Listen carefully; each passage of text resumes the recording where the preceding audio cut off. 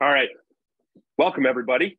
Uh, my name is Dillon, and this is the second video uh, in the Unfound Anamnesis YouTube channel. And before you ask the question to yourself, I'll come right out and say it. Yes, uh, I'm wearing my shirt inside out. So, fun fact um, in in the First Nations, there's a tribe called the Lakota tribe, and in every Lakota tribe, there exists someone that they call an Eoka. And the Eoka's job is to be the cosmic clown. They, they speak in tongues, they speak backwards, they would ride their horses backwards, they would wear their shirts inside out, they would laugh at funerals. And their job would be to poke holes in society and poke holes when people started taking themselves too seriously because, hey, this is just a cosmic drama that we're all playing a role in. Um, so when I take myself too seriously, like getting nervous about these YouTube videos, I wear my shirt inside out, or I'm going to start wearing my shirt inside out. It's the second video um, to be like, hey, Dillon, no one cares. Not a lot of people will watch this, and it's just me expressing myself. So that being said, we're going to jump into this video, and uh, if you stay to the end of this video, you will get a free quiz that you can take to help you see where would you exist in the world of Bastunia that we're creating. And for people that just came to this video channel, like this is the first video I'm watching, what the hell are you talking about, Dillon? Um, my first video, watch it. Uh, we talked about the unfound anamnesis, how it's come to be, and where we are going with the first world in the unfound anamnesis called Bastunia. It was put together by me and my good friend and partner, Matt Emery. You're going to hear from him as we move forward as well. Um, where was I? Oh, that's what we're doing. And um, in this video, we're actually going to talk about what I, what I call the power of three, where I, I give to you three paths and I propose to you three questions. Each of the questions has why at the end of it. So really, it's like six questions, um, but it's going to help you start to one ask yourself some philosophical questions. There's some hopefully some thought provoking questions about yourself, um, your history, and where you're going. Uh, and two, it'll help you kind of see where would you exist in this world.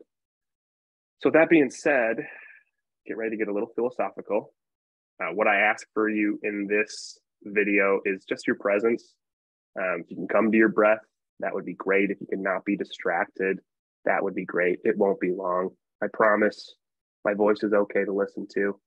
Um, I'm going to give you my presence as well. Potential trigger warning uh, I'm going to be using the word God uh, in this. So when I use the word God, I don't view God as, as a man with a big white beard, kind of overlooking us and seeing what we do every single day and judging right and wrong. I like to use the word God because it's short, and to me, it symbolizes some existence, like some big cosmic presence um, that I'm part of. What I'm going to do, first and foremost, is I'm going to share with you three paths. And I want you to listen to each of the paths. Take notes if you want. I have some questions that follow. All right.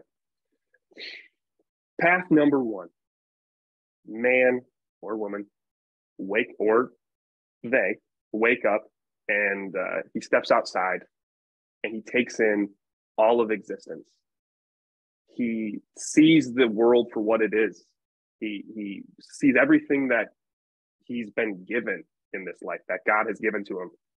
He sees all the resources of this world. He sees the mountains, he sees the ocean, he sees the trees, he feels the wind. He looks around and he sees all of these great societies that have resurrected themselves throughout time, all throughout the world. He looks at his own human body, his mind. He looks at the community and the network that he has, his friends, his family, those close to him. Takes it all in and he's utterly curious, looks around and says, Wow, thank you. Thank you, whoever's out there for this. This is incredible. This is a gift. What can I make of it? The curiosity kicks in and he says, You have given us me such a great gift. What is it that I can create as a thank you? What is it that I can make that's bigger than myself, that can stand the test of time, live past me? Impact future generations? How can I how can I write my name in the annals of history and, and stamp my legacy while I'm here? That's first path. Second path guy, woman, they wake up, step outside, and he looks around and he's, he's filled with joy, sees everything that this world and God has to offer, all the resources of this world, the mountains, the tree the ocean. He feels the he feels the wind. He he he looks and realizes that there are societies, there are cultures, there are countries, there are continents, there are religions all around this world of different people that have a different way of viewing this world. He looks at his own human body, his mind, his emotions, his soul, his, his network, his community, the people around him, his friends, his family. He was blown away. He says, Wow, whatever it is out there, God, thank you so much. I appreciate this gift. And he's filled with nothing but wonder. And he says, Thank you. How can I understand this? And how can I understand you more? How can I how can I constantly push myself outside my comfort zone physically, mentally, spiritually? Because when I do that, I know I get further away from who I am and closer to you. And we're in conversation. I understand this world more. And the more we're in conversation, the greater I feel, the more I can learn, and the more I can grow. That's second path. Third path. Guy, woman, they wake up and he steps outside. You know, you know the drill. He takes it all in says, Thank you. This is incredible, God. Sees the resources, the mountains, the ocean, the trees, the breeze, cultures around the world, his human body, his mind, his soul, whatever. He looks around and he sees his community, his network, his friends and his family who he has an incredible affinity to. He loves them. And he, in this case, he's filled with nothing but love, not curiosity, not wonder, but just nothing but love. And he says, Wow, God, thank you for this. Thank you for what you've given me and every person in my life. I love it. How can I preserve this? How can I protect this great gift you have given me? And more importantly, the loved ones in my life. I'm thankful. They're grateful and I'll do whatever I can to stand for myself and them um, and, and show my love through the preservation of what you've given us. Thank you. Those are the three paths. Okay. Quick summary for those of the people that dozed off. Uh, first path, we all see, everyone sees existence here. First path, guys filled with nothing but curiosity and says, What can I make of this? Second path, guys filled with nothing but wonder and said, How can I understand this? And the third path, guys filled with nothing but love and says, How can I preserve or protect this? So here are my three questions that I'd ask you. Feel free to pause this video as we go throughout. Question number one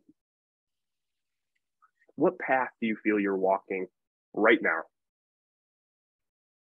And why? Throw it down into the comments. What path, question number one, what path are you walking right now and why. Pause. Take time to write, take time to think. Pause the video.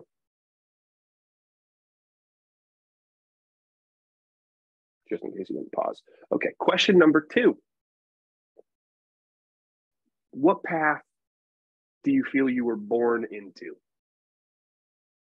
we don't have a lot of control when we're born. We come into this world, we have the, the, people in our lives that we have that raise us and everything that happens. What path do you feel you were born into?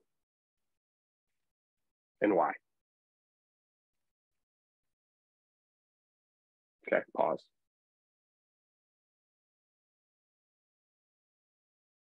Third question. Write some things down. Third question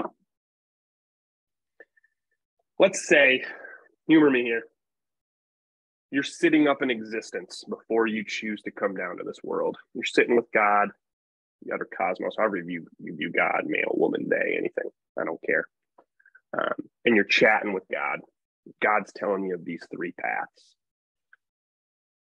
And you, you say, hey, well, I'm getting ready to go down to earth, right? Like very soon. My parents are down there scrumping right now.